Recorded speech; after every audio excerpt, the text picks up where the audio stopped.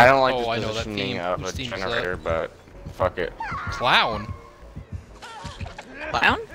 Yeah. Oh no, I don't like that. I haven't seen a clown in a while.